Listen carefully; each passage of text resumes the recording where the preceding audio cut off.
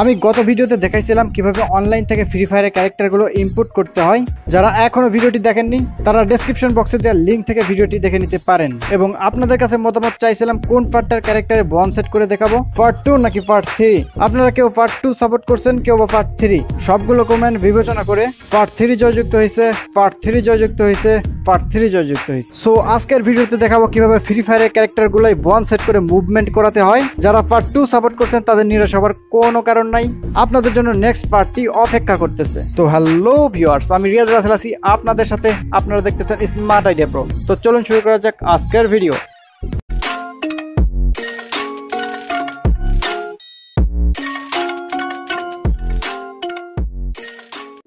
আপনারা প্রথমে Prisma three D app open করে নেবেন এবং ক্যারেক্টার ইনপুট করে নেবেন। আপনারা অনেকে কমেন্ট করছেন যে ক্যারেক্টার ইনপুট করতে আপনাদের সমস্যা হচ্ছে।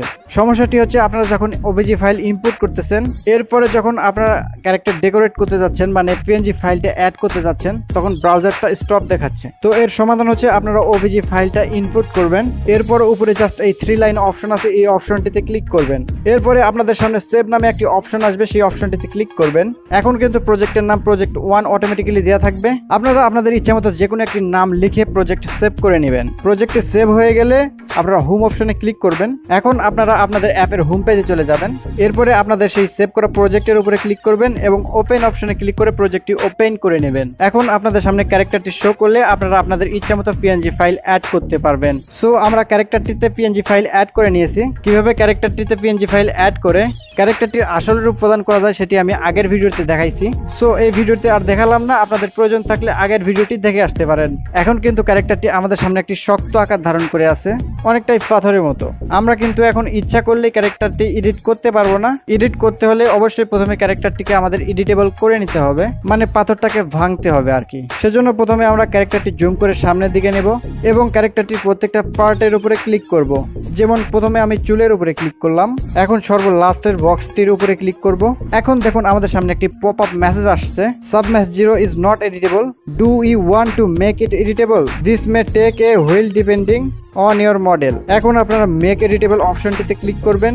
এরপর আমাদের সামনে কিছুক্ষণ সময় নেবে। এখন দেখুন আমাদের ক্যারেক্টারের চুলের উপরে সবুজ দাগ দাগ চলে আসছে। মানে আমাদের ক্যারেক্টারের চুলটি আপাতত এডিটেবল হয়ে গেছে। ঠিক এরকম ভাবে আমরা আমাদের ক্যারেক্টারের প্রত্যেকটা বডি পার্টের উপরে ক্লিক করব এবং এই লাস্টের বক্সে ক্লিক করে মেক এডিটেবল অপশনটিতে ক্লিক করব। এভাবে আমাদের ক্যারেক্টারের বডির প্রত্যেকটা পার্ট এডিটেবল করা হয়ে গেলে আমরা বন সেটের কার্যক্রম শুরু করব।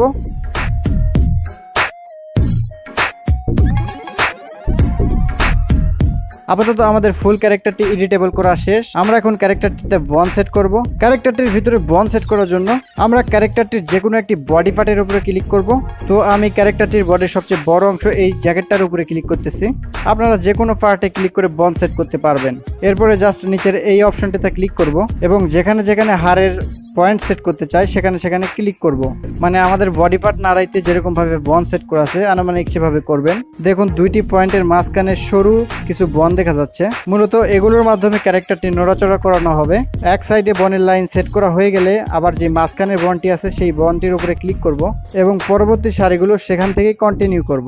মানে যেখান থেকে শুরু করতে চান সেই পয়েন্টের উপরে ক্লিক করে পরবর্তী বনগুলো অ্যাডজাস্ট করে নিতে হবে।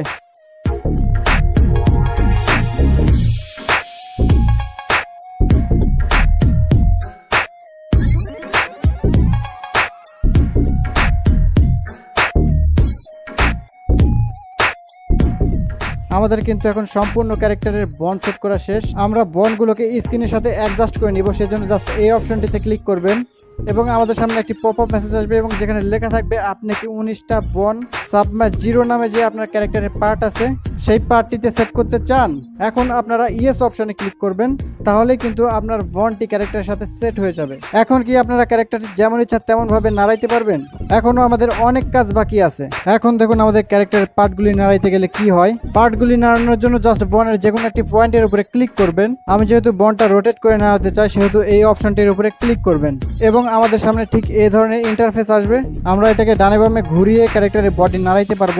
এখন দেখুন বডি নাড়াইতে গেলে ক্যারেক্টারের জাস্ট হাতাটাই নড়ে হাতের যে পার্টটা আছে সেটা নড়ে না। এর কারণটি হচ্ছে আমরা যে বনগুলো সেট করছি, সেটা বডির জাস্ট এই একটা পার্টেই সেট করা হয়েছে। বাকি পার্টগুলোতেও আমাদের আলাদা আলাদাভাবে বন সেট করতে হবে। সেজন্য জাস্ট উপরে এই চিহ্নে ক্লিক করে সবগুলো ট্যাপ ক্লোজ করে নেব। এখন আমরা ক্যারেক্টারের যে অংশে বন সেট করতে চাই, সেই অংশটিতে ক্লিক করব। এখন দেখুন আমরা দেখতে পাচ্ছি ক্যারেক্টারের এই অংশটিতে আমাদের ট্যাবের এখানে আছে। এরপরে আমরা বনের উপরে ক্লিক করব। এখন আমাদের খুঁজে নিতে হবে সবগুলো বনের লিস্ট কোথায় আছে। এখন দেখুন আমরা বনের লিস্ট এখানে পেয়ে গেলাম। আমরা জাস্ট বনের উপর কিছুক্ষণ ক্লিক করে ধরে রাখব, তাহলে বনটি ফ্লোটিং হবে। আমরা বনটিকে টেনে উপরে সাব মেশের উপরে ছেড়ে দেব। এখন দেখুন আমাদের মুখের অংশে অলরেডি বন চলে আসছে। আমরা এখন এটাকে স্ক্রিনের সাথে অ্যাড করব। সেজন্য আমরা জাস্ট মুখের উপরে ক্লিক করব, আবার এই অংশে ক্লিক করব এবং পরবর্তীতে বনের যে কোনো একটা পয়েন্টের উপরে ক্লিক করব এবং এই অংশে ক্লিক করে বনটা স্ক্রিনের সাথে অ্যাড করে দেব। তাহলে দেখুন মুখের পার্টে আমাদের অলরেডি বন অ্যাড করা হয়ে গেছে। ঠিক এইরকম ভাবে প্রত্যেকটা পার্টে আমরা বন অ্যাড করে দেব।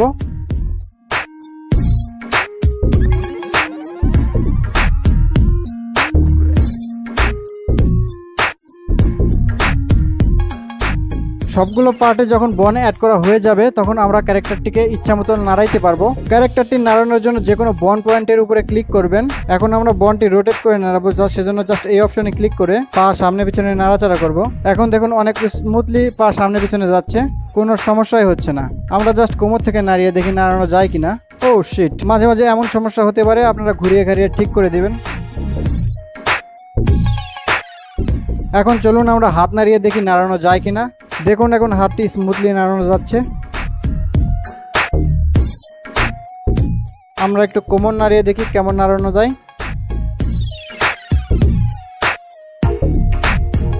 তো এভাবে মূলত আপনারা ক্যারেক্টারের ভিতরে বন সেট করে নড়াচড়া করাইতে পারবেন। আমাদের আপাতত ক্যারেক্টার মডেলিং করা শেষ, আমাদের এখন অ্যানিমেশন ভিডিও তৈরি করার পালা। সো এর পরবর্তী ভিডিওতে দেখাবো কীভাবে এই মডেলিং অপশনে ক্লিক করে আমরা ক্যারেক্টারটি দিয়ে অ্যানিমেশন ভিডিও তৈরি করতে পারি। সে পর্যন্ত ভালো থাকবেন, সুস্থ থাকবেন এবং পরবর্তী ভিডিও দেখতে চাইলে অবশ্যই চ্যানেলটি সাবস্ক্রাইব করে পাশে থাকা বেল আইকনটি বাজিয়ে দেবেন।